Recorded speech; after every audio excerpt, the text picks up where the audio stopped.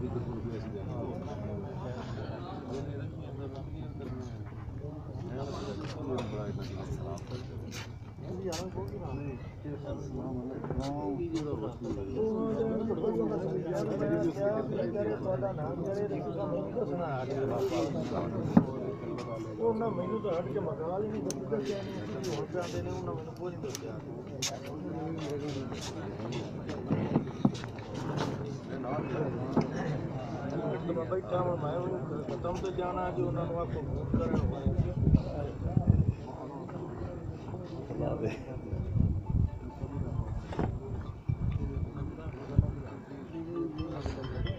ਮੈਨੂੰ ਨਾ ਬੰਦੇ ਕਿਤੇ ਕਹਿਣਾ ਜੀ